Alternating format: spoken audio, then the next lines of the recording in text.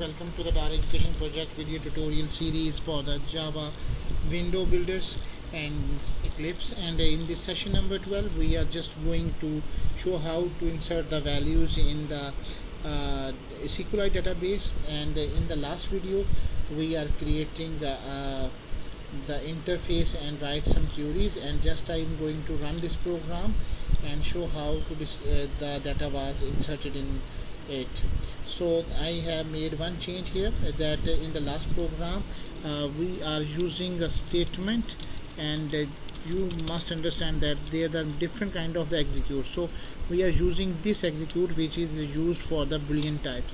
So here we will just amend it in the last code and now I will run this program and for this uh, just go and check that this is our database and I am going to show show all so that only two records are here so uh, I'm going to insert the uh, name of a new student Harun Rashid and the house number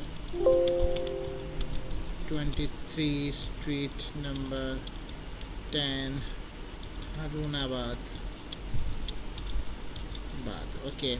After that I'm going to enter the phone number like this 99 something and add Harun at the rate of yahoo.com and I will save it then the record saved successfully.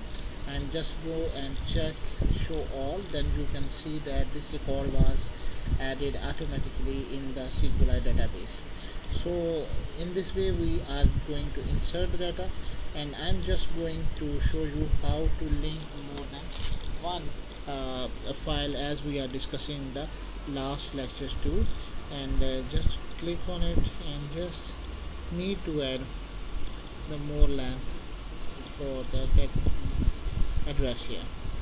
After that I'm going to delete miscellaneous and here I'm going to add one more um, menu and that was J menu. Just to show here.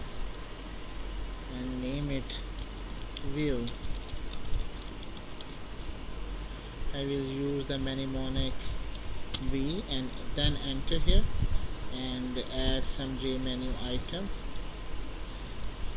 display student. Just like that. Student information. Okay now I want to click on this student information